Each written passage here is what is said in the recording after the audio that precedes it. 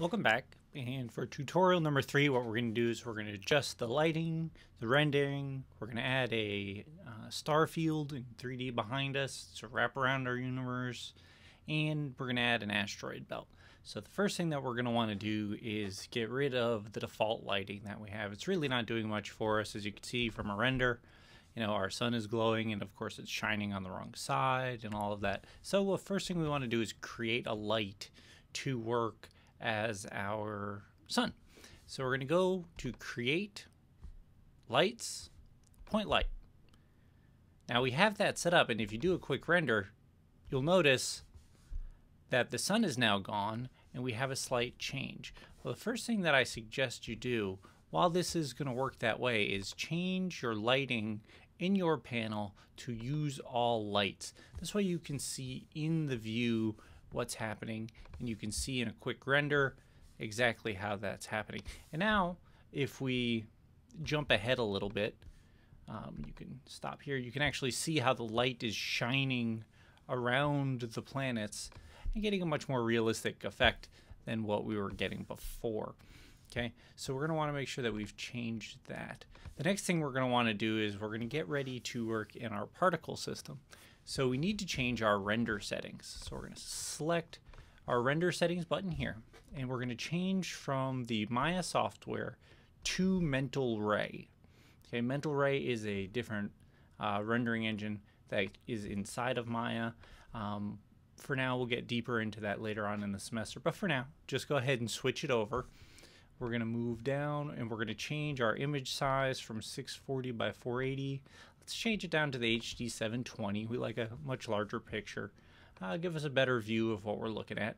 Um, our resolution will leave at 72, uh, depending on what we're going to do with it. We could go up to 300, but for right now, it's not really worth it for the what we're going to be doing. Also, change from the draft settings to production. Now that'll give us a, a better quality render. Now if you close and take another render, we get a much larger image which of course takes more time. And you can see we've got our planets, but we still can't see the sun. Now, there's a couple ways that we can change this. If we select our sun, we can come into the texture that we have. And if we adjust the ambient color here, we should be able to get a better view of exactly what's going on with the sun. Now that's okay. You know, we get the nice glow. We see how it's uh, shining around, but it's really not a very good sun-like texture. So what I've done is I went onto Creative Crash and downloaded Sun V1 version 1. Um, and we're going to import it now and use that because it is a fantastic, uh, fantastically designed shader that we're going to use. So we're going to go to File, Import. Now notice it's in the data here. I actually stored it earlier in the scenes. So we're going to go to Sun V1 and instead of we're going to do the Maya ASCII, we're going to select the sun. We're going to click select open. And notice we now have a new group that has come around here. We can actually delete this entire group because we're not going to use it. We're only going to use the texture that went along with it. And we're going to right click on our sun. Oh, let's come back make sure we have it. Right click on our sun assign existing material, which we've just imported, called Sun version 1, which is a Phong. Okay, now with that imported, you're still not going to see anything different here, but once we render it, you'll notice a substantial difference.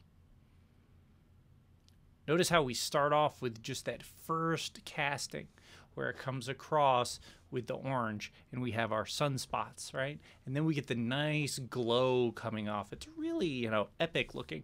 And now if we actually come in even closer, let's say for example, we come in and we look at Jupiter here and we scroll to the side, we can come over, we can see the front of Jupiter, get a nice image here, and take a render you can see how the texture will change on the sun and look really, you know, nice and fluid and just the way that the sun is uh, in real life. And there's a pretty classic shot that we have right there the sun with the planet. You know, we've got a nice roll off of the shadow here. We have another planet in the corner. and we can work with that. So we're just going to hold on to that shot for right now and keep moving.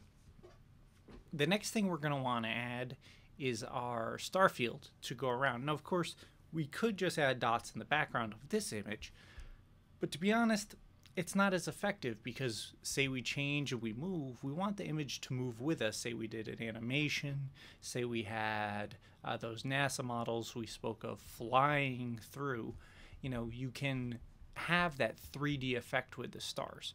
So what we're going to do is we're going to insert our first particle field. So I want you to follow along. There's going to be a couple things we're going to need to tweak and change, but this is a pretty straightforward example of how a particle field works. So first thing we need to do is change to the dynamics menu. After changing to the dynamics menu, you're going to want to choose particles, create emitter. Now what that's going to do is going to create an emitter one and a particle one. And we need to make sure we emitter one selected and come over and tweak a few of the settings. We want to change the rate here to 500. We're going to want to change the minimum distance to outside of where Pluto was. So if you remember back, Pluto was around 600. It was, I think it was 524. So what we want to do is put this outside of that. So for for our purposes, I'm going to say a thousand, and then we'll set the max distance at 1200, which will give us a nice buffer for the 3D It'll give us a little bit of depth, but not too much. We don't need it to go out too far. We don't need to be rendering particles all the way through. So that should give us a nice 3D uh, image that we're looking for as we move around. We also are going to need to change the speed. Our speed down here in the basic emission, we're going to change it to zero. What we're looking for is particles that stay in one spot. We're not looking for particles that are going to be moving, um, which they normally are used for. So we're going to change that to zero. All right, and then we're going to rewind and play back from the beginning. Now, if you notice, as we're going along, here are our particles starting to form in the background. And you're going to want to let this run for a little bit.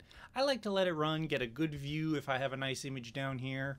Um, we can stop, we can just hit escape and stop, and that is about what we're looking for. Now, if we don't like this, we can always rewind and do it again. The emitter will continue to emit particles only from the beginning. Now, if you jump to a different frame, it's not going to continue to emit. So you have to do it from the beginning every time. So I'm going to let this roll probably, I think that's about good, right about to about 400 frames. And that gives us a good collection of stars to work with. Now, we're actually going to freeze these stars in place and use them um, the particle emitter is really just using it to spread it out and create it for us so we're not placing each one of these by hand. Okay, so we have our particle selected. We move to particle one. We go to solvers, initial state, and set for selected. Now that that is done, we can actually delete our emitter one. We've emitted we have no more need for it because everything we have is already in place. In our particle one, we change over to our channel box and we change our is dynamic from on to off. We type off by typing zero, um, on would be one. Okay, we want to come back into our attribute editor and we're going to tweak some of these settings to set the shape. So we're going to select particle shape one scroll down and change our render type from points to spheres and click current render type. Now notice our radius will come up. We have the ability to change the radius of these stars. Now we don't want anything too large, but if we make it too small, we won't see it. So a good starting point would be one, and depending on the distance that we have, it should give us a quality look um, without going overboard. And we can adjust this afterwards. So we need to check that out. And then we come down further. And we change that to spheres. We go to the 0.5. We want to, oh, we want to set the color was the next part. I'm sorry. Come to Lambert. we're going to change this. We're going to create a new material for our particles. Right click, assign new material, because once again, the Lambert one is still assigned to Neptune. We're going to select our color. Stars really kind of vary. Um, I personally like it to have a little bit of blue to it. Um, keep it brighter, something like that. A little yellow would work as well, just as well. So I'm going to go with the blue this time. Uh, you can go with the yellow, do it as you need to. And then we're going to change our special effects to, we're going to start with a 0.05 and maybe come up higher than that. Actually, we might start with a 5 just to give you an example of what that's going to look like and let you see. And then from there, we can just hit render.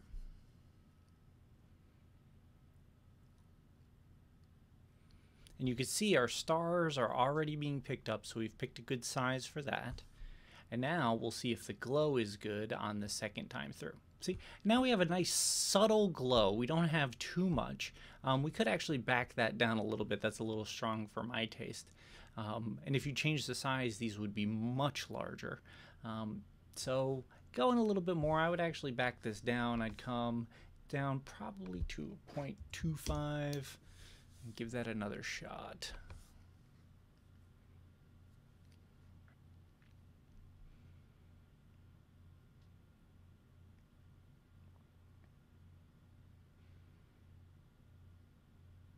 And there you have a nice glow. It's subtle, which is what you really look at. When you look up at the stars, you don't see, you know, the glow and the twinkle unless there's like a really dense fog.